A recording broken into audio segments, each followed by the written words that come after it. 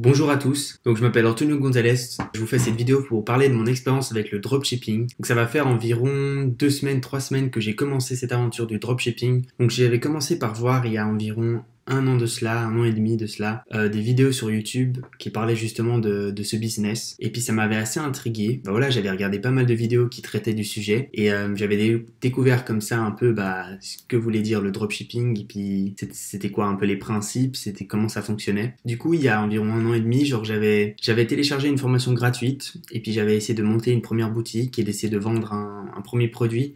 Mais une fois que tout était fait, donc j'avais fait ça en l'espace de 3-4 jours, donc assez rapidement, j'étais assez dans le rush, je voulais à tout prix euh, voir si ça marchait. J'ai pris un peu peur à la fin quand j'ai terminé, où j'ai pas vraiment, enfin j'avais lancé ma boutique, j'avais lancé une pub euh, Facebook assez rapidement, enfin j'avais, je l'avais laissé environ, enfin même pas une journée, je l'avais fait de façon assez bâclée. Du coup, bah, j'avais, j'avais stoppé rapidement sans avoir euh, aucun résultat, enfin sans, sans laisser même le temps aux, clients, aux, personnes de regarder ma pub et d'aller sur mon site. Enfin bref, du coup j'ai pris un peu peur parce que j'ai cru que tout ça n'était pas vraiment réel, que tout ça était un peu une mascarade qui, que les certains youtubeurs auraient mis en place sur YouTube pour essayer de voilà de vendre leur formation payante. Du coup bah voilà j'ai pris peur et j'ai tout arrêté. Puis après j'ai laissé passer environ un an, un an et demi. Et après en fait récemment ça m'est revenu un peu à l'esprit donc je suis retombé sur des vidéos et du coup j'ai essayé, je me suis dit que voilà j'allais me lancer donc j'ai pris une formation payante, je l'ai suivie Regardez comment bien choisir un produit, comment bien créer une boutique et comment bien faire des pubs pour promouvoir l'article. Du coup, c'est ce que j'ai fait. Je l'ai suivi en même pas, en l'espace d'une semaine. J'ai rushé, j'ai euh, fait que ça. J'ai trouvé un article, j'ai trouvé, euh, j'ai monté ma boutique et j'ai lancé mes pubs. Donc j'ai choisi les pubs Facebook. Et du coup, le but de cette vidéo, c'est un peu, bah voilà, de vous montrer un peu mon expérience avec le dropshipping, euh, vous montrer un peu par quelles étapes je suis passé et vous montrer mes résultats. C'est vrai que on nous partage souvent des expériences fructifiantes sur les réseaux, sur, euh, sur YouTube en particulier, voilà, où on montre que telle, euh, telle personne a fait tant de chiffre d'affaires, etc., etc., mais on montre pas forcément euh, les étapes par lesquelles on doit passer et on montre pas forcément aussi les échecs. Et malheureusement, j'ai eu un échec sur ma première boutique.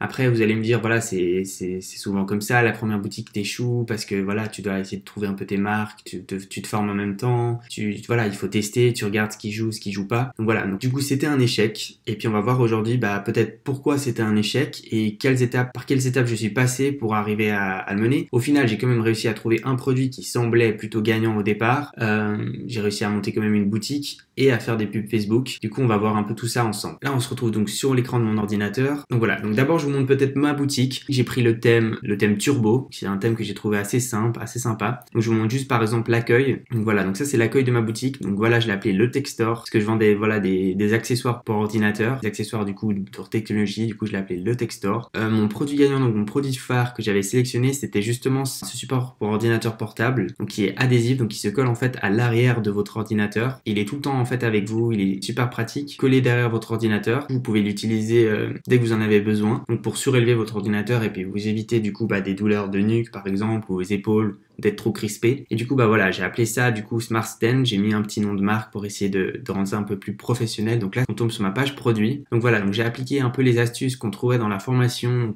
que même que un peu tout le monde raconte sur les sur YouTube, produits soldés. Voilà, j'ai mis des avis. Euh, j'ai mis des avis importés du coup d'AliExpress. La livraison a suivi qui est offerte. Donc il y a trois couleurs noir, gris ou rose. Donc la quantité, voilà, ajoutée au panier ou acheter maintenant pour les plus pressés. J'ai essayé de rajouter un peu d'urgence avec ce, ce compte à rebours. Donc voilà, qui est la promo du jour se termine dans, euh, dans tel temps. J'ai mis aussi le, stock, donc euh, voilà, qu'il restait plus que 12 articles en stock avec la barre justement. Les icônes euh, pour le paiement bancaire pour assurer l'acheteur. voilà, après j'ai redit que c'était une offre voilà, de 50% de réduction plus raisons gratuites. Voilà. Après j'ai essayé de détailler assez rapidement à l'aide aussi d'images GIF pour illustrer un peu le, produit. Donc voilà, donc ultra pratique, ne perdez plus de temps, il s'installe rapidement, dites adieu à l'inconfort et aux douleurs, etc. J'ai mis des images, etc. En bas, on a les avis clients avec des photos ou voilà des avis euh, près d'AliExpress où justement bah, on voit le produit en euh, situation. Donc c'est un peu ma page produit. Donc là ça rentre sur ordinateur, mais si on veut l'avoir par exemple sur mobile, donc ça rend comme ça sur mobile. Et je trouvais que ça rendait quand même assez bien ça faisait quand même assez pro, ça allait bien en tout cas avec le mobile et que ça allait bien avec l'interface mobile. Et voilà. Et puis en haut, j'ai mis aussi une bannière où je mets voilà promotion limitée moins 50% plus livraison gratuite. Donc voilà. Donc après, il y a aussi la page d'accueil. La page d'accueil, bah voilà, mon logo. Euh, j'ai fait une page d'accueil assez simple. Au début, j'avais mis une image en dessous de mon logo, mais bon, j'ai trouvé que ça faisait ça faisait trop autant que le que le client il tombe directement sur le produit phare. J'ai mis aussi d'autres articles, donc d'autres supports euh, d'ordinateur. Donc il y a par exemple celui-là, qui est aussi assez connu. Euh, j'ai mis aussi des, une souris pour ordinateur qui a été verticale, donc ça évite d'avoir mal au poignet. Et un dernier produit où c'est des accoudoirs en fait, poser ses bras quand on est sur l'ordinateur ou sur le bureau, c'est assez pratique. Du coup voilà, le tout à moins 50% et voilà, et en bas j'ai mis les promotions du jour. il y a aussi une page spéciale où il y a que des promotions et euh, voilà une petite FAQ où euh, on répond aux questions, euh, aux questions un peu de base pour les temps de livraison, etc. Donc voilà, donc ça c'est un peu le site que, j'ai créé. Donc voilà, j'ai essayé de rester sur trois tons, bleu, noir et puis blanc. Un site qui est même assez sobre. On verra après mes avis par rapport à pourquoi ça n'a pas marché, pourquoi cette première boutique Shopify n'a pas marché. En tout cas, voilà, je trouvais quand même que pour une première boutique, c'était quand même le rendu était quand même pas mal. Et puis voilà. Donc après là, on se retrouve sur Shopify. Donc comme vous pouvez voir, donc si on regarde un peu mes visiteurs, là j'ai arrêté les pubs Facebook, mais on va dire voilà que j'ai commencé au 14, voilà. J'ai fait mes pubs Facebook, ça n'a pas attiré des masses de foule, ça a attiré environ 259 euh, personnes, même s'il y avait voilà des gens des fois qui venaient des États-Unis. J'avais mis comme euh, comme audience donc une audience française, suisse et belge. Donc j'ai eu pas mal de, personnes en Suisse, en France, mais aussi beaucoup des États-Unis et vraiment beaucoup beaucoup. Pourtant je n'ai pas cliqué sur une audience états-unienne. Après je sais pas si c'était de un les modérateurs Facebook qui devaient regarder mes pubs. C'est vrai que j'ai mis pas mal de pubs, donc euh, à chaque fois peut-être une personne ça ça compte etc.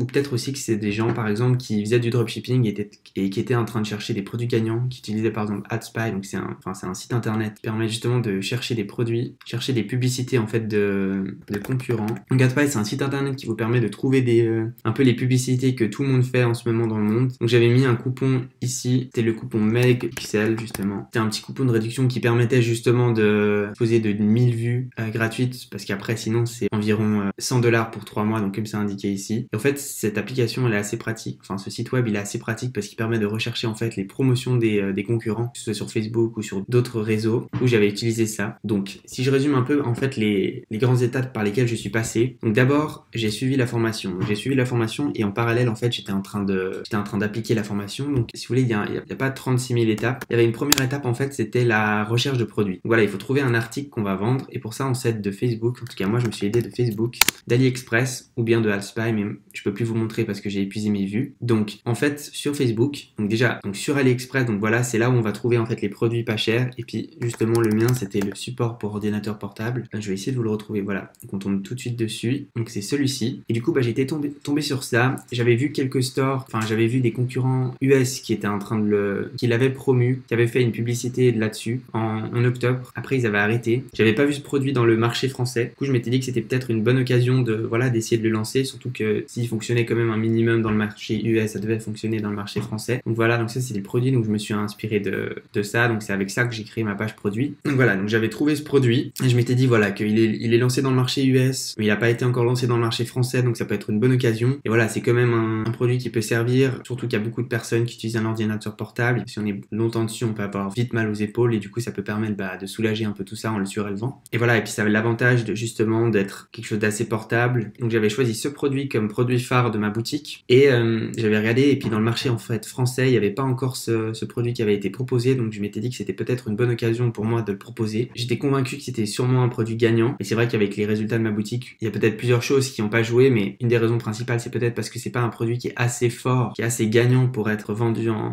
dropshipping. En fait, ce que j'avais fait, donc j'étais tombé sur une pub Facebook, donc par exemple comme celle-ci où, où il présentait par exemple le produit, et puis euh, j'étais allé, donc j'avais cliqué, etc. J'avais regardé un peu le nombre de clics, comment il était le site, et puis après j'avais été allé sur AliExpress, j'avais cherché justement, bah voilà, support ordinateur portable, j'étais tombé là-dessus. J'avais copié-collé le lien AliExpress. Et ensuite, ici, on peut aller dans Product Analysis et on peut justement copier-coller les liens et on peut voir un peu les ventes qui se font. Bon, c'est vrai que ces temps-ci, il n'y a pas beaucoup de volume, il y a eu beaucoup de ventes là dernièrement. Moi, j'avais regardé, il y avait environ, en mi-octobre, il y avait un peu plus de ventes là, elles ont beaucoup baissé, mais il n'y en avait quand même pas beaucoup. Généralement, ce qu'on recommande, c'est environ plus de 50 produits euh, vendus par jour pour euh, vraiment s'assurer que c'est un produit gagnant. Et là, c'est vrai qu'il n'y avait pas beaucoup d'articles qui étaient vendus, donc c'est vrai que c'était peut-être aussi un indice que c'était pas forcément forcément un produit gagnant. Mais bon, je me disais que quand même il y avait 3000 ventes. Euh, c'était une publicité qui avait, qui avait quand même fonctionné sur Facebook parce qu'il y avait des commentaires, des likes, il y avait beaucoup de vues, il y avait beaucoup de clics aussi sur la publicité. Et puis bah du coup bah je m'étais lancé là-dessus. Pour la recherche de produits, donc moi ce que j'utilise c'est Facebook. Il y a plein d'autres moyens, mais Facebook ça reste quand même un moyen assez simple. Bah moi j'avais en fait téléchargé cette application qui s'appelle Turbo Ad Finder. C'est une application qu'on peut rajouter euh, dans Google Chrome. Et en fait en l'activant, ça va faire que dans notre fil Facebook on verra en fait que les publicités et on verra pas les posts par exemple d'autres gens, etc. Du coup c'est assez pratique parce que ça,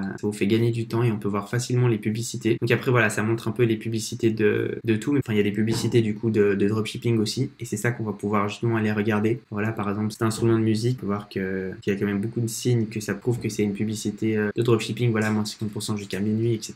Puis après, bah, on peut cliquer sur les sites, les concurrents, et puis voir un peu la tête qu'ont les sites, ça peut donner les idées, et puis voir un peu le produit. Vous voyez, 49 euros au lieu de 100, donc c'est avec les boutons commandés qui, euh, qui bougent, donc c'est assez grillé que c'est un, produit dropshipping. Après, on peut aller rechercher du coup. C'est ce que j'ai fait. Par contre, pour trouver le nom de ce truc, on va mettre Kalimba, on sait jamais. Voilà. Donc là, c'est sûrement un de ceux-là. Donc après, on trie par commande. Voilà, c'est sûrement celui-là ou celui-là. Un des deux. Peut-être les autres. On peut voir un peu les photos pour se faire une idée. Mais voilà. Donc, bon, après, eux, je pense qu'ils sont quand même assez avancés parce qu'ils ont un packaging à eux. C'est marqué My Kalimba, My Kalimba ici. Donc voilà. Donc moi, en tout cas, bah, j'avais cherché comme ça mon produit. Donc j'avais fait pas mal de pubs là. Un autre produit sûrement de, de dropshipping. Je les ai vus aussi, ces écouteurs. Voilà. Donc c'est ceux-là c'est assez facile de retrouver les articles sur AliExpress. Puis voilà, donc j'avais cherché des produits comme ça. Et puis euh, du coup, j'étais tombé donc sur ce support d'ordinateur. Donc ça, c'était pour la recherche de produits. Après, en fait, j'avais euh, j'avais acheté le thème Turbo et j'avais euh, j'avais commencé à créer ma boutique, donc qui est là. Voilà, donc j'avais personnalisé ma boutique, je l'ai créée. Et puis, donc après justement, donc j'ai lancé mes pubs Facebook. Donc voilà, donc j'ai créé un compte Facebook Business où j'ai créé justement des publicités. Donc je les ai supprimées à l'heure actuelle, mais voilà, donc j'ai lancé les publicités comme il y avait dans la formation. Voilà, en créant une euh, en créant des, euh, ensembles de publicités et en créant bah, différentes publicités. J'avais fait une vidéo, je vais vous montrer. Pour ma publicité, j'avais créé des vidéos. J'avais fait plusieurs versions. Comme miniature, je mettais, euh, voilà, j'avais ça comme miniature. J'avais testé plusieurs miniatures avec voilà du texte, etc. Au début, j'avais mis des emojis mais en fait c'était c'est plus accepté par Facebook. En tout cas il me bloquait à chaque fois que je mettais des emojis. Et du coup bah j'ai mis bah voilà des, une vignette assez euh, assez sobre qui attire quand même un peu l'œil. Et voilà j'avais plusieurs euh, plusieurs types de vidéos. Je vais vous en montrer une quand même que vous fassiez une idée. Donc voilà donc ça c'était ma vidéo que j'ai faite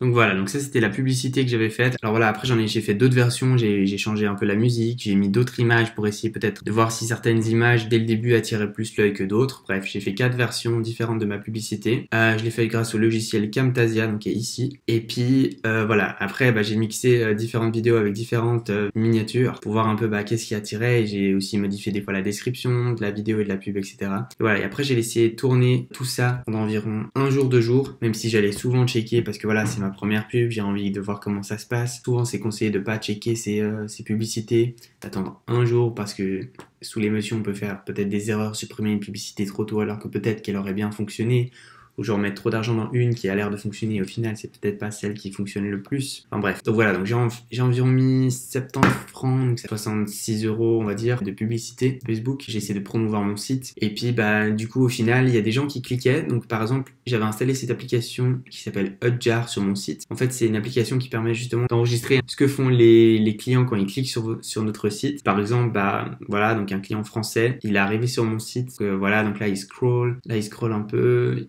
Après peut-être lui, on va voir. Lui, il n'a pas cliqué, mais il y en a par exemple des fois qui avaient cliqué sur, euh, sur le panier en fait, donc ajouté au panier, mais il n'y a personne qui a, qui a réellement acheté mon produit. voilà, donc là on peut voir que quelqu'un qui était sur son ordi, on peut voir qu'est-ce qu'il fait. Il a regardé un peu les couleurs, et on peut voir qu'à un moment, voilà, il a regardé les couleurs, ajouté au panier, il l'a fait, mais il n'a pas forcément euh, validé sa commande, alors qu'il y avait le bouton ici, il a quitté. Donc voilà, donc là, c'était pour ma pub, donc euh, qui a amené quand même environ 25 personnes, on va dire, qui sont arrivées sur mon site. J'ai pas continué les, euh, les pubs Facebook parce que j'ai vu qu'au bout de deux jours, bah voilà, que ça marchait pas. Les gens, déjà, il y avait, ça me coûtait cher. Il y avait pas beaucoup de gens qui cliquaient forcément sur euh, sur ma promotion. Le peu qui cliquaient, qui arrivaient sur mon site, il y avait pas tout le monde déjà qui prenait le temps de regarder ma page produit. Il y avait encore moins de gens qui cliquaient sur ajouter au panier. Il y en a peut-être eu 4 ou 5. Finalement, personne n'a acheté. Et puis bah, bah, voilà quoi. Du coup, ça m'a un peu, ça m'a un peu Il faut savoir qu'au début, bah, j'étais parti bah, dans l'optique de au moins faire une vente,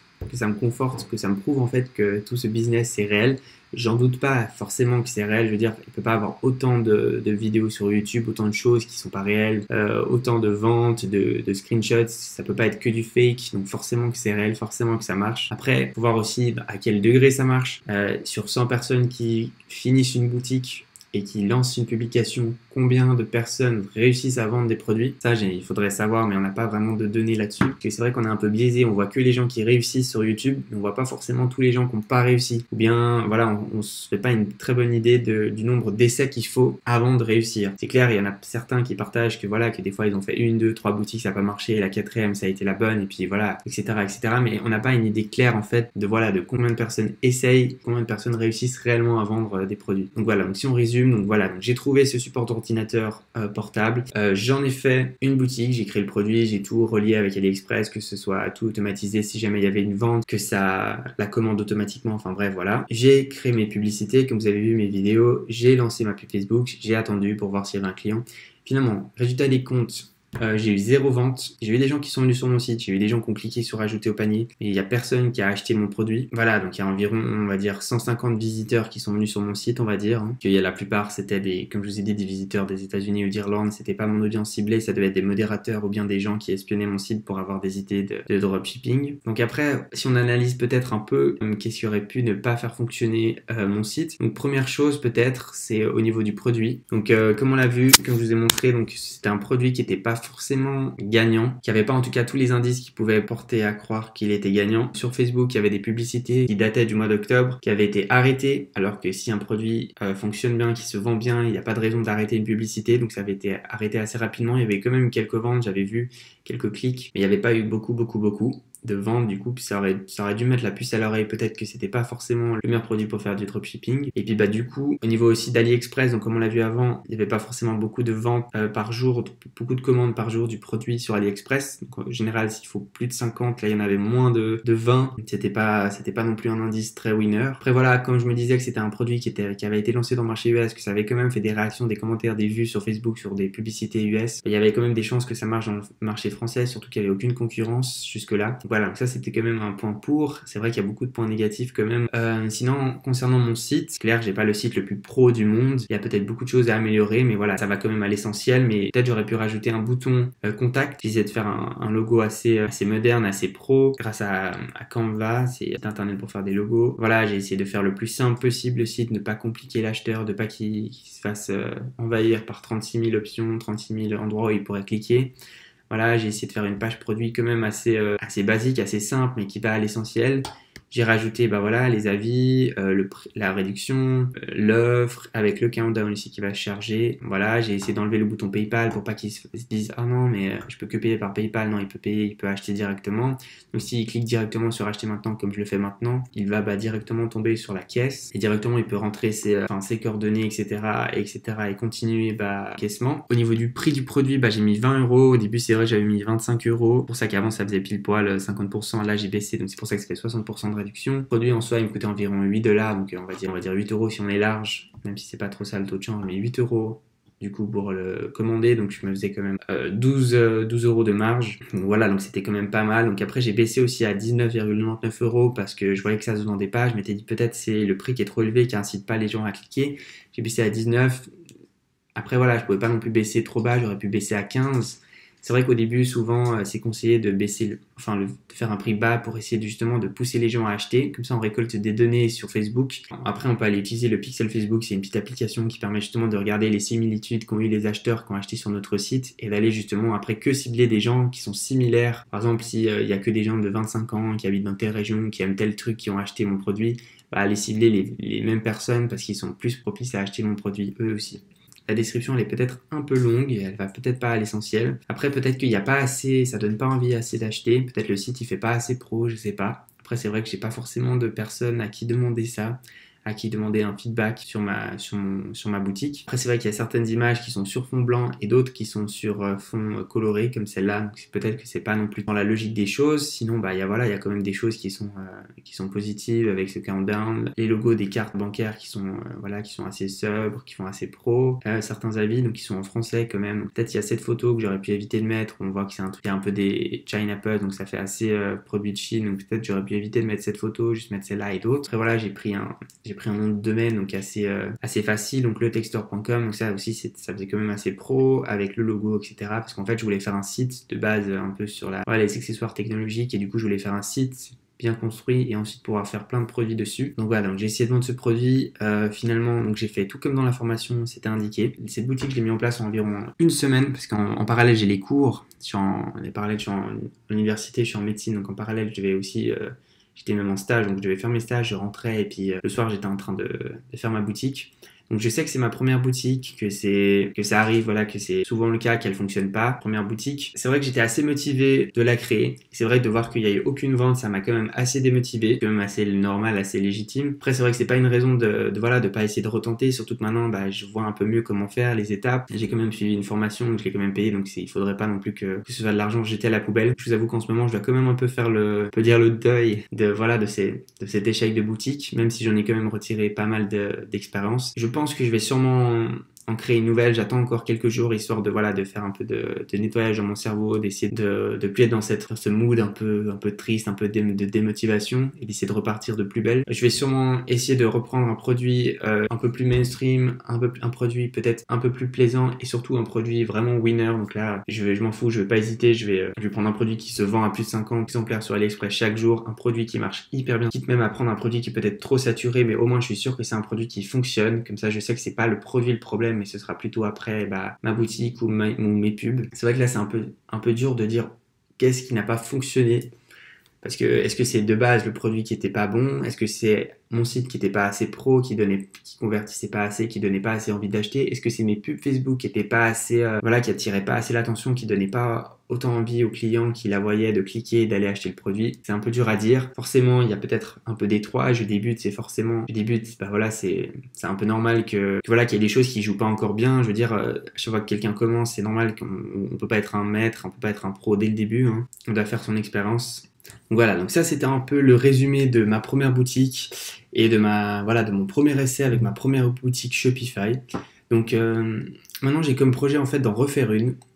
Et puis en fait je voulais justement pourquoi pas essayer de d'en faire une nouvelle, mais cette fois de partager en fait les étapes et même la création en live avec vous pour vous montrer bah, du coup euh, la recherche de produits, donc comment je recherche le produit, comment je vais créer ma boutique, comment je vais créer mes pubs et comment je vais les lancer.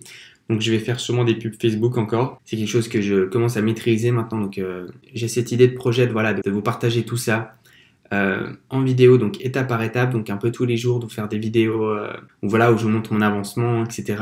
je fais en même temps avec vous voilà, la recherche de produits, je crée ma boutique, etc. Pour vraiment vous montrer bah, tel quel un peu comment j'ai fait et peut-être que ça va vous aider. Peut-être que ça va en aider certains, peut-être ça va en motiver certains.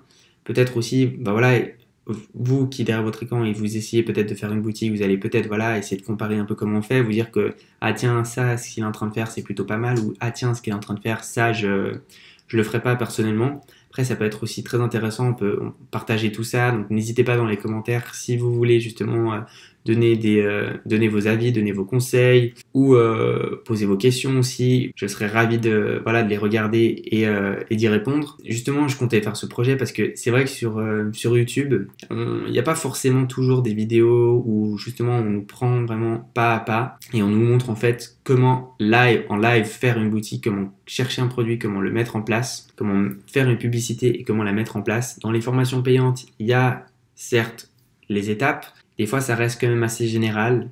Ils prennent pas forcément un exemple concret pour nous montrer. Après, voilà, j'en ai pas vu non plus des centaines de formations, mais du peu que j'ai vu, bah, c'était, c'était pas vraiment euh, axé sur du concret avec un vrai produit qu'on a vraiment lancé. C'est plutôt des rétrospections où on nous montre que voilà, avec tel produit que j'ai lancé euh, pendant telle période, j'ai fait tel chiffre, vous pouvez voir, Donc, je trouvais ça assez intéressant de vous partager un peu bah, du coup ma prochaine boutique, comment on va faire ensemble et de le faire limite un peu euh, ensemble, même si c'est pas vous qui êtes derrière votre écran et qui cliquez avec moi, mais c'est quand même un processus où on est ensemble et on peut justement avancer comme ça. Donc je vais faire plein de vidéos, je me suis dit que voilà que j'allais créer cette chaîne YouTube pour pouvoir justement partager, donner la possibilité à certains de voir justement les euh, prémices, on va dire, de quelqu'un qui débute dans le business c'est pas toujours évident.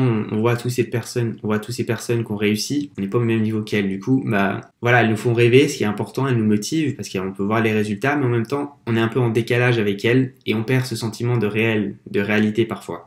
Et on se dit bah voilà, elles ont tout ça, mais est-ce que vraiment c'est possible? Est-ce que euh, je peux y arriver? Et c'est bien aussi des fois de, s'inspirer de personnes qui sont au même niveau que nous ou légèrement euh, plus ou moins au même niveau. C'est pour ça aussi que souvent on fait ça, qu'on a des, associés, des partenaires qui justement font avec nous parce que ça permet justement, on est, on est tous humains, on a besoin justement de partager, de s'exprimer, de demander des avis. Et parfois faire ça tout seul, c'est pas forcément le plus, euh, le plus simple. C'est bien de trouver des personnes justement sur YouTube auxquelles on peut vraiment se, se raccrocher, vraiment qu'il n'y ait pas trop ce décalage ça permet justement de se motiver aussi et d'avancer et puis de, voilà de voir comment les autres ils font aussi et puis ça permet ça peut toujours nous aider du coup bah voilà donc moi je compte créer cette chaîne YouTube pour parler de mes business. Donc là, en ce moment, je vais me consacrer sur le dropshipping, mais je vais sûrement, euh, sûrement aussi essayer d'autres choses en parallèle. Après, bah voilà, je suis dans plein de transitions de, de mentalité, même si ça fait quand même un an, un an et demi que je suis en train de progressivement changer de mentalité. Avant, c'est vrai que j'avais une mentalité assez très classique, assez euh, études, travail, et puis la retraite, etc. Là, je suis en train de changer de mentalité où que voilà qu'on peut gagner de l'argent pas forcément euh, avec la voie classique, mais qu'on peut aussi gagner de l'argent avec en créant un business, en créant des revenus passifs, en créant quelque chose à soi et puis un peu se détacher de, ce, de cette voie classique du où on est euh, salarié ou etc. Je vous avoue que c'est pas toujours évident, donc c'est aussi l'objectif aussi de cette chaîne YouTube, c'est vraiment de vous partager mes ressentis pour voir aussi si ça résonne avec vous, puis voilà de pouvoir échanger un maximum et de pouvoir s'entraider un maximum parce que je trouve que la plateforme YouTube c'est quand même une super plateforme pour pouvoir justement voir la vie d'autres personnes, voir leur vie, euh, comment ça fonctionne pour eux et puis ça peut nous aider aussi à nous. N'hésitez pas à vous abonner, je vais publier des vidéos euh, assez fréquemment, en tout cas une par semaine et voire même peut-être deux par semaine. Je vais vous partager un maximum mon état d'esprit, euh, du coup mon mindset, les business que je suis en train d'essayer, comment je me sens, euh, qu'est-ce qui fonctionne, qu'est-ce qui fonctionne pas pour moi. Je veux en fait que cette chaîne elle puisse servir à au plus personnes qui décident de se lancer, qui ont des, euh, des a priori des doutes, qui savent pas trop comment faire, pour leur partager un maximum de moi l'expérience que j'ai. C'est un peu tout pour cette vidéo, donc on a vu ma boutique. À très vite pour ma deuxième boutique et à très vite aussi pour mes futurs business. J'espère que vous serez au rendez-vous. N'hésitez pas à commenter, à partager et à vous abonner pour pouvoir suivre mes vidéos et d'activer la cloche des notifications qui est à côté du bouton abonner pour pouvoir être au courant dès que je publie une vidéo. Sur ce, je vous souhaite tout le meilleur et à très vite.